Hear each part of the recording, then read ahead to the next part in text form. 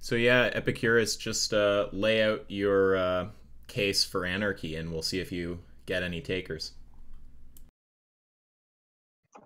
All right. To start out with, um, the whole animal industry is funded by government subsidies, and so without government subsidies, the animal industry as we know it now would collapse. Now, one might argue that without government, society would just fall into warlords and chaos, and I also have arguments against that.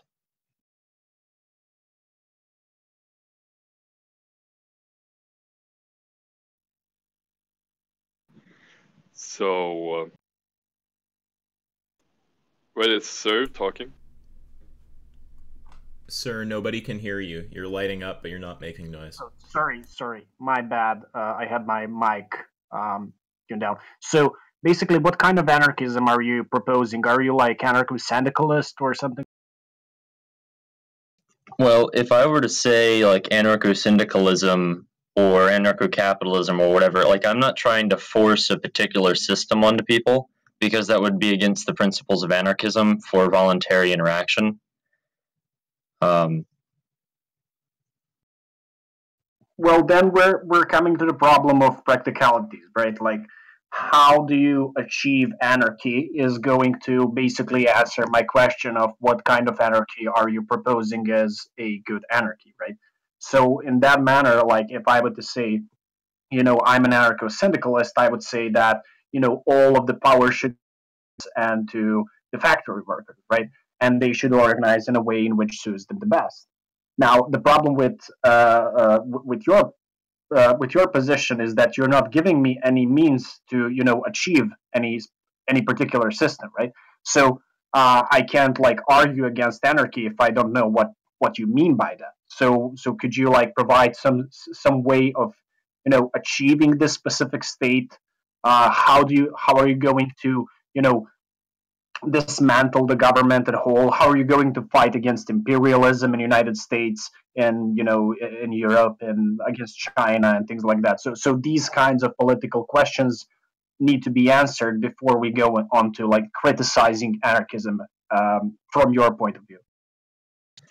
Okay, so just to be clear, my position, the closest position to mine is anarcho capitalism. And that doesn't mean that I want to force capitalism onto people that don't want to be a part of capitalism. If they want to have their own commune and practice communism or whatever, then that's totally up to them. But anarcho capitalism just means people acting for their own benefit and trading with others in a peaceful, cooperative way. And if they don't want to be a part of that, that's totally fine with the system. Okay. So the problem with anarcho capitalism is that everyone who is not is going to say to you that uh, basically anarcho-capitalism is not anarchism. Why? Well, because anarcho and anarcho whatever means that you're anti-hierarchy, right? So if you're against hierarchy, in you know, and not every type of uh, hierarchy, right?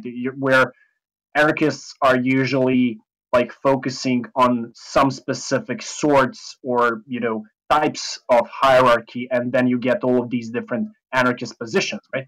But the problem with anarcho capitalism is that you still have a capitalist uh, economy. And within the capitalist economy, you will always have some towards monopolization, towards overproduction, towards having a cons- consumerist society, right? And as long as you have a consumer society, you're going to have some sort of of, uh, of hierarchy, which is not going to be um, appreciable, right?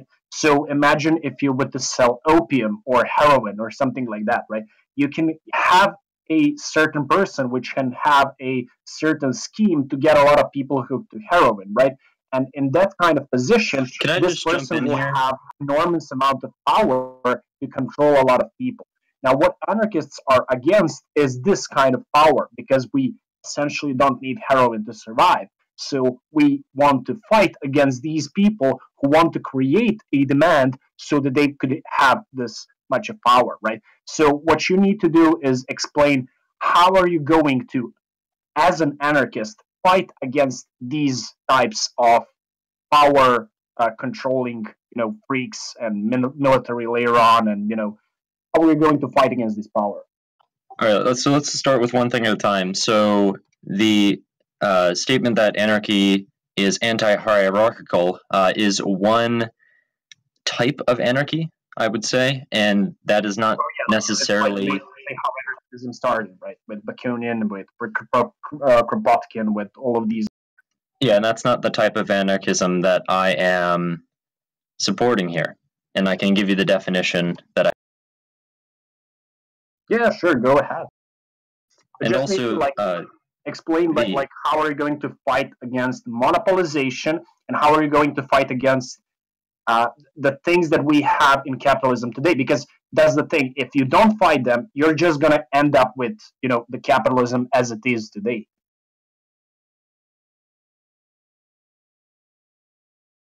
Okay, so there's nothing in the definition of hierarchy that I see is necessarily coercive. Can you explain that?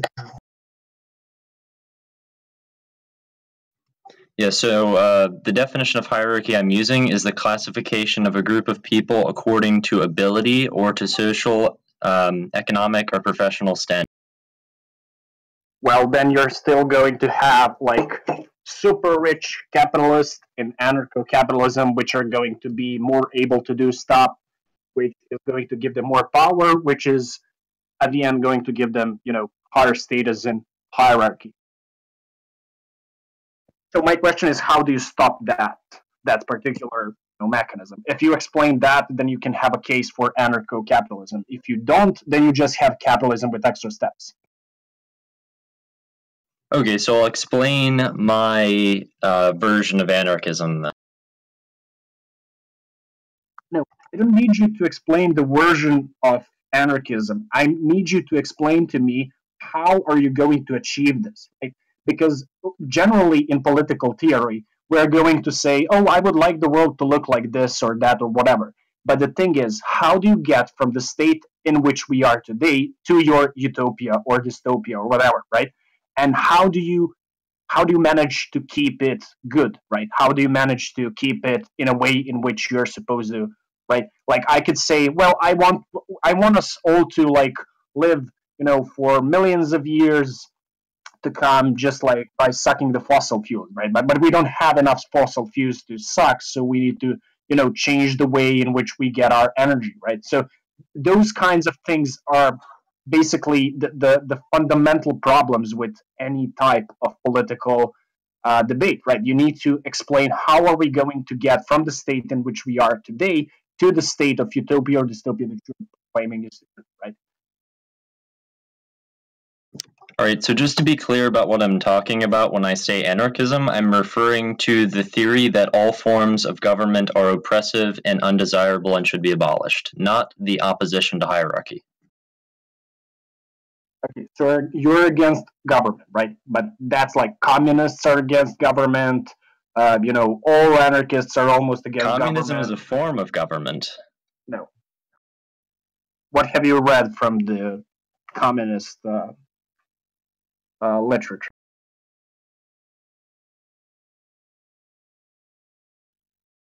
because that's not what communism is right Like, Okay, so if- there's there's two definitions for communism. One's an economic system and one's a type of government. All right.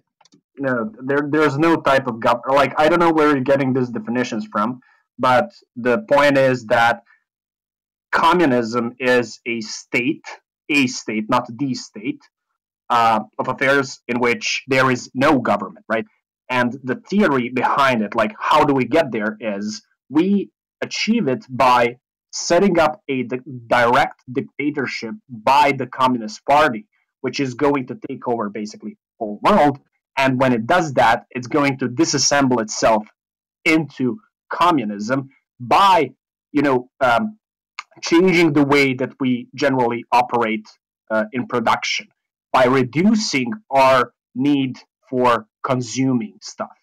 So consumerism needs to stop, and we can't stop consumerism without actually having set up the, the dictatorship first, right? So communism comes after you know the socialism, which is going to be dictated by the people themselves through the Communist Party. So that's the like the most basic communist theory we have, and that's from Karl Marx.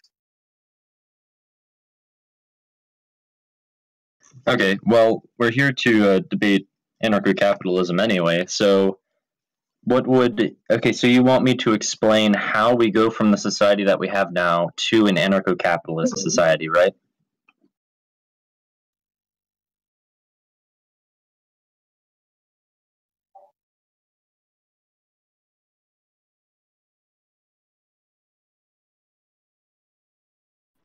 Do you have yourself turned down again?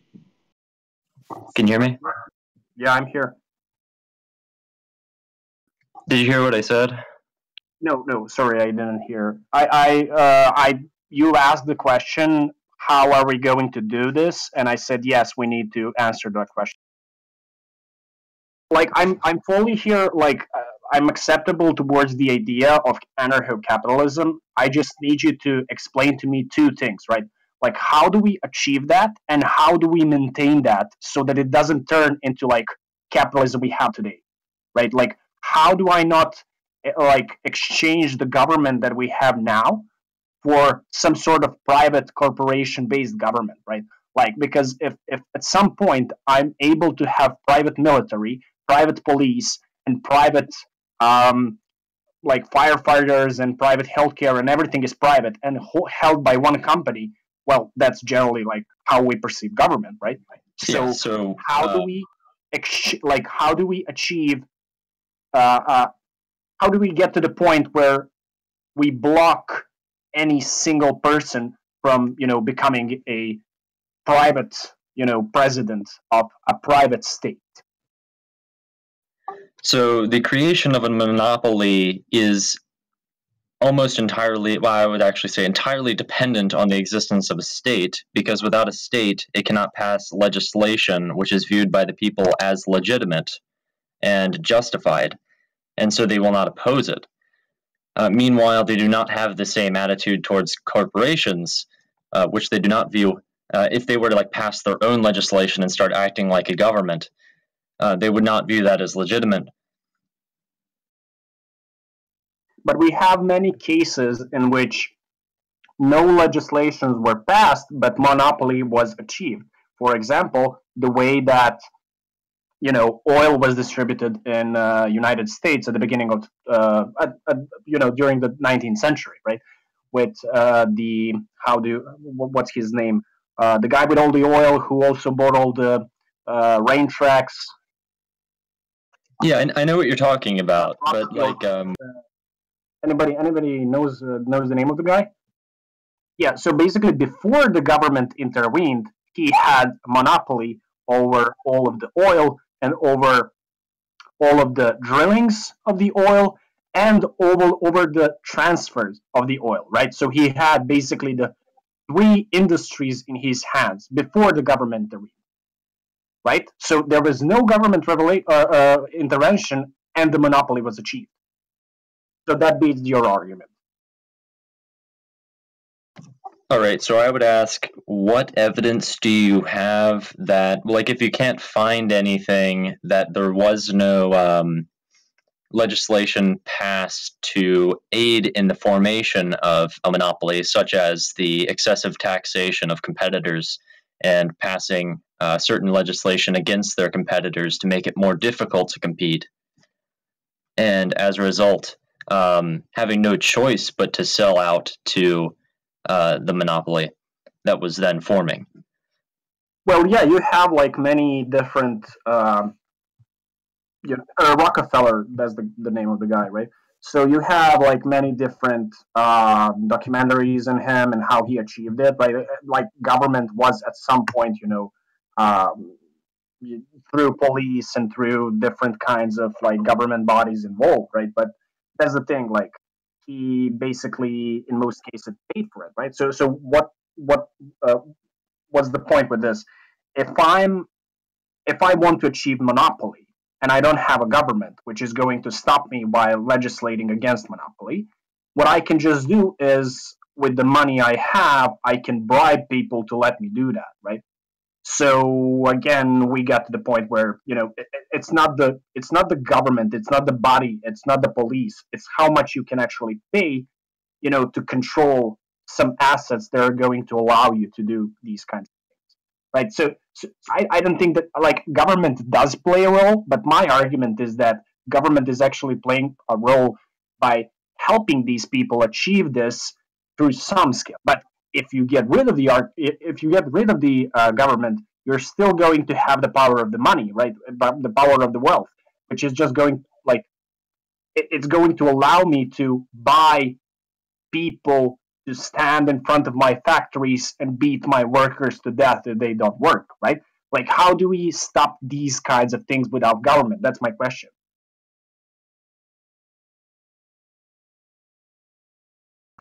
All right. So trust bust legislation, which is the legislation that destroys monopolies and breaking them up into smaller corporations, um, you could argue that that is just other smaller companies getting together to buy out politicians so that they pass that certain legislation to get rid of their uh, nemesis, their threat that is threatening their business, okay, I mean, we can we can stop that and analyze it, right? And what I would say is that okay, but th- that solution is still a capitalist solution. My solution is to kill the capitalists take over the production, and destroy all forms of consumership and as fast as possible, right? So we don't have a dichotomy between American government and anarcho-capitalism, right? We have like many different options by which one like I choose, you know, to violently, you know, kill all the capitalists and all wealthy people and just yeah take their money and distribute it and you know organize people to work as they want for example. Right like, mm-hmm. like i can i can think of like five many different cases. I, I don't have like a standpoint which is unmovable here right? Because your your proposing that anarcho-capitalism is is the solution, right? So so we can choose any different other point of view to challenge the idea of how do we control monopolies, right? But what you need to provide is a bulletproof example of how do we do this in anarcho-capitalism? How do we stop monopolies in anarcho-capitalism? Not how you know current capitalist government fails. I know it fails. I agree. All right, all right. So, in anarcho capitalism, the means for mass oppression in a government would be probably evenly distributed because they would all be sold off in the private sector. Nobody would have enough money to buy out, buy it all, and even if they did, awesome. even if they did, that's awesome point, right? Like we will all have a playing field to play with, right? And I agree with you, right? If we would to just start with the even field, it would be awesome, right? And that's what cap like uh, anarcho syndicalists are saying, right? We if we all start with an even field and have like you know we still can have uh, uh, um, you know the labor movements and the the market, right? But how do we achieve that? Because in the status quo, we already have really rich people who are just going to buy off everything before you step into anarcho-capitalism, right? So how do we stop these people who have all this wealth and these corporations that have all this wealth and all of these clubs and you know all of these kings and all of these lords and whatever who have all of these how are we going to distribute that in a way in which we're going to assure that we have a playing even field that's the question Well, the only way they can maintain all of that wealth is through government sanction, specifically because people view the government as legitimate and so are less likely to interfere with its actions versus uh, corporation actions. And since the corporations are protected by government in many cases, that it prevents it from altogether. And once you get rid of the government, then the people have the responsibility to um, make their purchases consciously and support those companies which are in their own interest. But again, you're talking about it like we can all just say, hey, government doesn't exist anymore, and we just poof, don't have any government, right? There are many different things that you need to do to destroy government, right? Like the most thought through theory is a communist theory, right? That you first need to take over the government, right, with your own people and then control it and then destroy it after many decades of, you know, completely changing the way that we produce stuff, right? And they have really, you know, complicated theory. The biggest experiment of this theory was the Soviet Union that lasted for like, you know, 20, 30 years, depends on who you ask. And they failed, right? L- like, how do you prove to me if I was to if I were to vote for you as the president of Earth, right? how do you prove to me that you are going to achieve this? What are your steps to achieving the destruction of the government? And how is this government going to dismantle in a way in which we are sure that nobody's going to use this particular situation to get into position of power, right? Well, trying to solve government through way of government would just be perpetuating the issue of people believing in government as a legitimate force to solve problems. But you're still not answering my question. How do we achieve anarcho capitalism? How? Okay. What are the steps? Steps step one, step two, step three, and then we can analyze if it's viable. All right, so one possible approach would be through cryptocurrency, specifically because it undermines the value of those currencies that are circulated by governments. And and what what? Okay, so I am United States of America, and I can see that cryptocurrencies are you know destroying my economy, and I just ban them. Well, it's it's not really possible to control them because they're not in uh, any sort of um, like they're not stored all in one place. They're not owned by just a few companies. Like Bitcoin Yeah. is a Look, I- I understand how cryptocurrencies work, but you do realize that they are banned and strictly controlled in some countries, like country in, in which I am living in, Serbia. You can't buy or sell cryptocurrencies legally without firstly registering yourself with your ID card, right? Like it's it's illegal to do that, right? And if you start doing that without firstly and foremost, you know, converting it into into usable currency, uh, you're basically just going to like waste your time, right?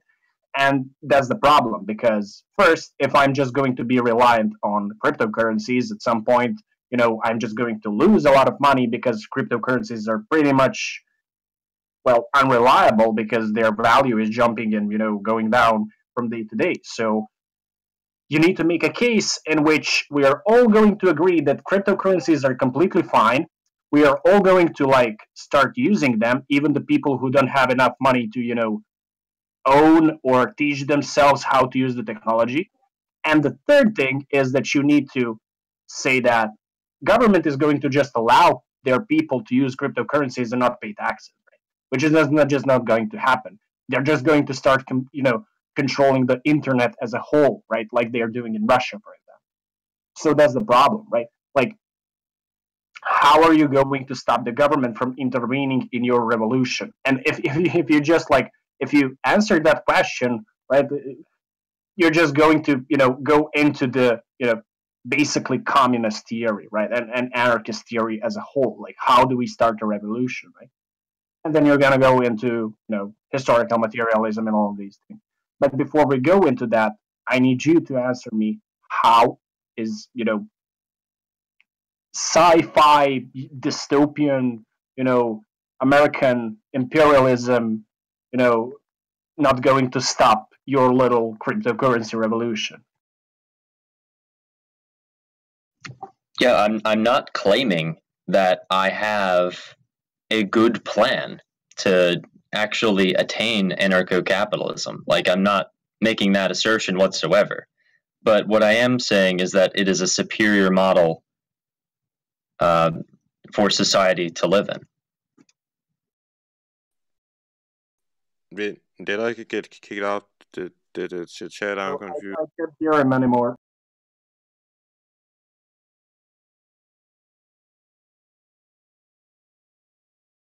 Epicur, I can't hear you. Oh, okay. Can you hear me? Yeah, now I can hear you. All right, good. So, so what's your plan? How, how are we going to stop the government from, you know, shutting down the internet or blocking all of the wallets by passing a law that's going to put a software on your phone and computer that's going to block all evil or anything like that really like we're, we're, we're in this position you know people who are using internet are in this position that you know they're they're doing everything safely and you know but like in general like nothing is stopping government from passing a law which is just going to allow them to get into your house and put a usb stick in your computer like and if they if they put this kind of a law you're just going to operate illegally. And you have to make a case that you know at least like 80% of people are just going to start operating completely illegally and start building you know their revolution internally. But at the end of the day how is that going to attack the government? Because government at any point can just you know send their military or paramilitary troops to go into your house and kill you. Yeah, I mean, look I- at what happened during 60, 60s and 70s in in, uh, in United States, right? All of these movements, you know, like many black people got killed, many white people got killed. Uh, they passed I'm law not claiming to- homes, like Yeah, I'm not claiming to have a good plan or really any plan at all. All I'm saying is that anarcho capitalism is a superior model of society.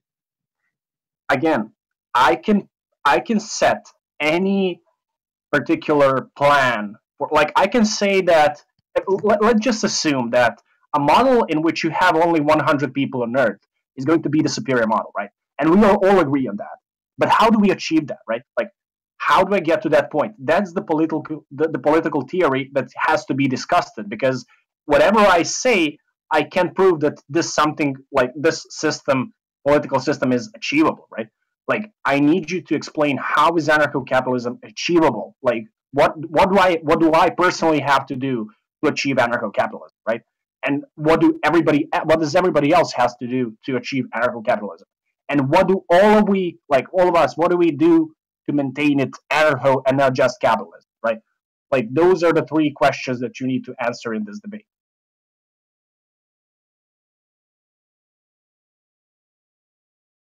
because without that we just don't have debate we just have like oh my idea is better than yours because you know theoretically in 1000 years you know cryptocurrencies are just going to be like no we, we don't have that debate. Like leftists in general uh, knew this because like we we had leftist theory for like 150 years 200 years now. You know where, where, where people were just like you know shouting ideas at each other and, and that's why we have like 100 leftist positions at this point which are all explaining how do we actually achieve anarchism? How do we actually achieve communism? And then you have like 50 different splits and left is never going to unite because there's 50 different splits of 50 different explanations what we need to do to get to this point right? But we all agree on some basic idea right? You can just come up with that idea. We can all just say yeah good nice idea but how do we get there? Right? Like what are the steps? Without that we basically don't have any debate right? We're just like shouting what, what idea is better. Like i can agree with you like i can agree with you that anarcho uh, uh, capitalism is a great awesome system you know it works perfectly when it's achieved you know all of it's great right? But how do we achieve that is the political problem. And now i'm just repeating myself so i'm just going to stop here.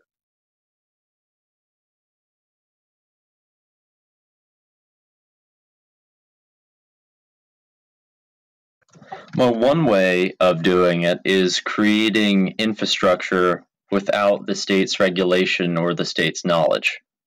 So having like a just like on a small scale kind of thing. You could have like a roadside farm thing that isn't being Yep. taxed, and so that subverts just, it just, somewhat. gonna stop you there. French Revolution start uh, like the the second French Revolution and like Paris Commune started that way. They killed them all. Uh, Germany before Second World War they started doing it. They killed them all. In um, in like, like literally like government sent troops and they literally killed hundreds of people that tried to you know make their cities. In Athens, Well, I said right without you their knowledge. One, what? Sorry, I didn't hear what you said last. Oh, I said without their knowledge. So the government wouldn't know about it to begin with. So you're going to have like some super duper secret society that's going to like do infrastructure secretly. You do realize that we have like surveillance that it's like beyond our comprehension. Like we literally have satellites looking at our cities 24 7. Like we can detect like uh, new new new concentration camps in China, like in rural parts of China, and how they develop over years. How are you going to achieve infrastructure of of revolution without anybody noticing that, right? Like you can't even make an atomic like uh, a shelter without doing. Like you can dig a hole. Like look in in, in Serbia, uh, they have planes that are circling the whole country every five years if they see one little object that is built in your backyard that you haven't registered, there's going to be a, a court decision to for you to either you know destroy it or pay for uh, the construction of it, right? So you have a surveillance of anything that's happening on the earth and possibly underneath the earth if you're just not going to like dig, you know, through the basements of you know houses. But then we're just going into like okay, so so all anarchy, all anarchists are going to move, literally living like under earth. Like, how do we achieve this? Or are you just like going to build under the sea? But even that is like observable through satellites. So I don't know how how, how are you going to do this?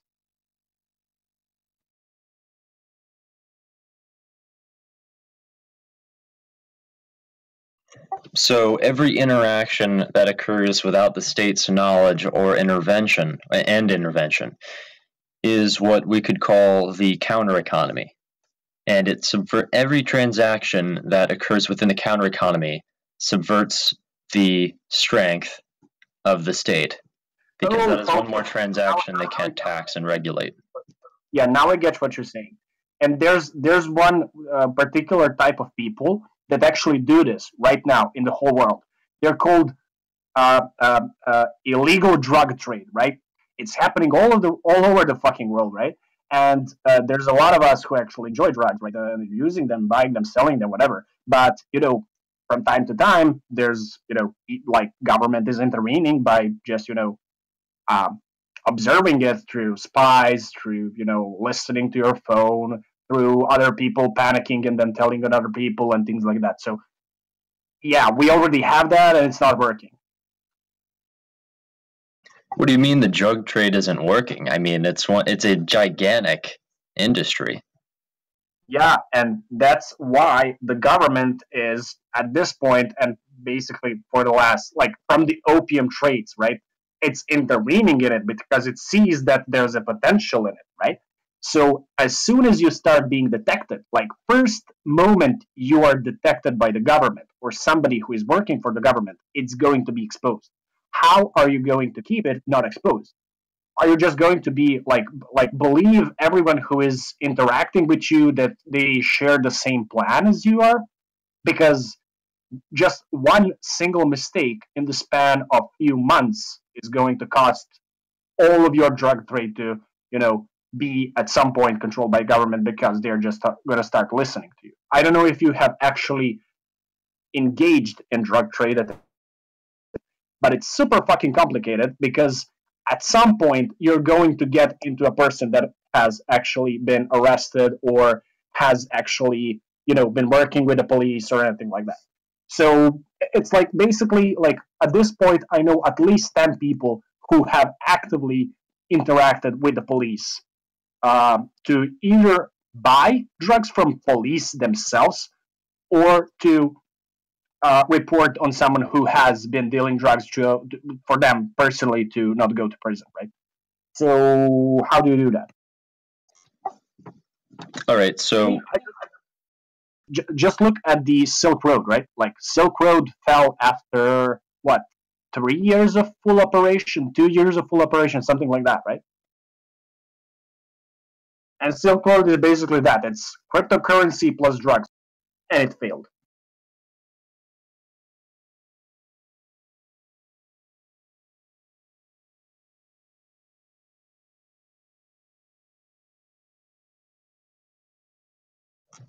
Yeah, like I I don't know of any good methods that would, you know, not fail because I'm just not that well educated on that particular matter. Well, then then we then we don't have like I think to debate about, right? Like because we're searching for any specific market in the history that we know that has worked so that we can actually have this model implemented and I personally don't know about any single model that hasn't been connected to the government at some point, right? If you can provide that, we can use that as a model and then see later on how can that be developed into uh, into a secret route that is going to, you know, completely, you know, eradicate the government as because before we actually prove that it's just fairy tales, right? It's just like empty speak about, you know, how are we going to achieve this?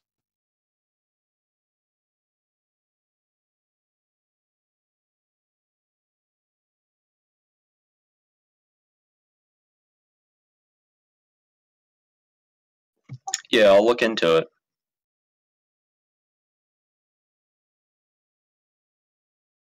Like right now or like should should I wait for you or No, I'm looking. Uh, yeah, I'm looking into it right now, but I might not find an answer for a while. So yeah because I I sincerely think there is no one like is there anybody else in the room that can actually answer this question who who also believes that you know you don't even have to believe that anarcho capitalism is achievable or whatever we just have to like think about it as you know, um, as any point in you know history of economy that this has been achieved and then you know controlled and kept secret at some point. Like we're not talking about Illuminati shit, right?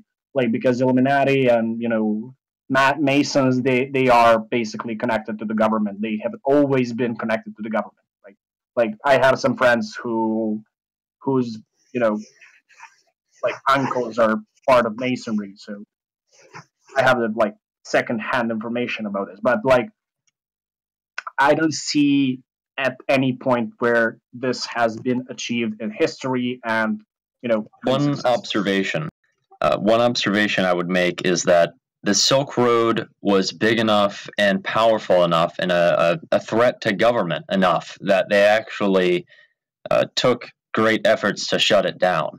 And so that in itself shows how it is a threat to government and yeah, yeah. subverts its I, existence. Understand. Look, I understand it's a threat to government, right? Like Black Panthers, like all of these revolutionary, any revolutionary organization ever had some sort of, you know, economy model to, you know, finance themselves enough so they can actually at some point buy guns and ammunition to fight the government firsthand, right? But they have always failed at some point if they haven't actually achieved the revolution, like for example Lenin did in Soviet Russia, right? Like they they managed to get enough money and manpower to actually start the revolution, right? But this is the thing, right? They started the revolution by telling to everyone that you know they're going to control their lives by controlling their means of production and all of these things.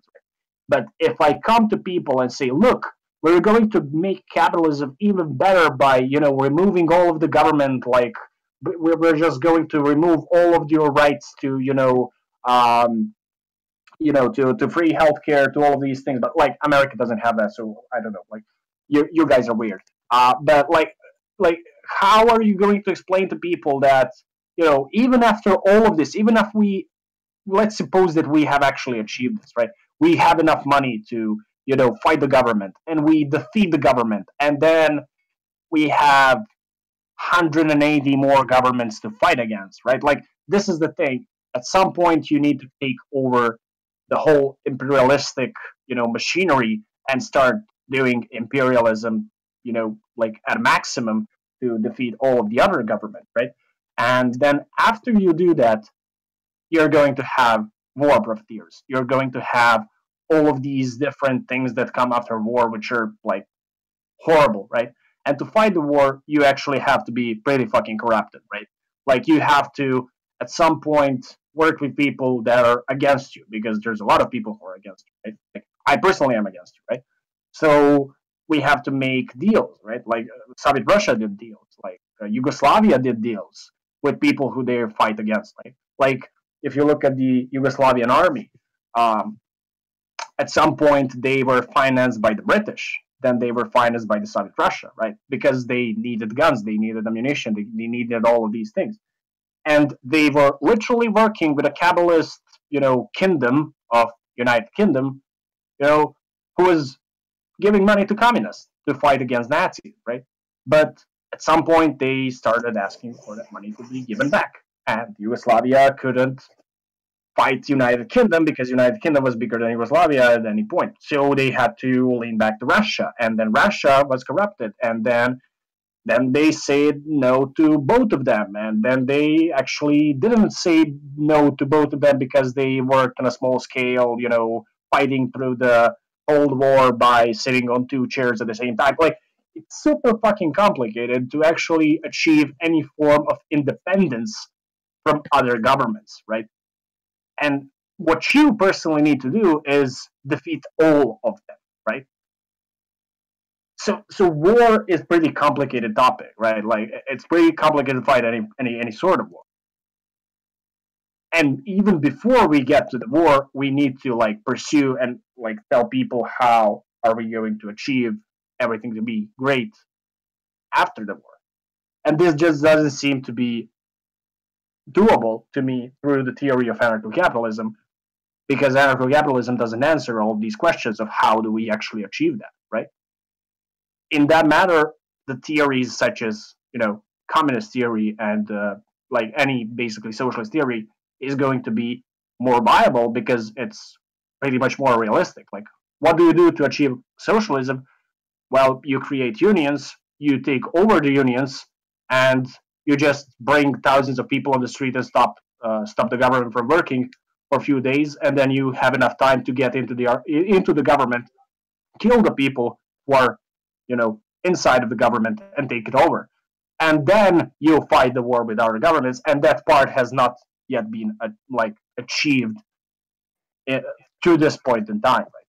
So my question again is, how do we do this? Like, how? What are the steps to building anarcho capitalism in a way in which it won't eat itself alive once the war profiteers are, you know, powerful enough to stop you, right? To to get like super capitalist, and then you just get like super dystopian societies where companies are running the world, which doesn't seem good to me because companies are certainly not going to take care over animals. They're not going to take any care. Yeah, I can I can explain like all of the nuances of a anarcho-capitalist society, but it seems like you're more interested in like how do you actually get there rather than um, you know what would happen once you're there.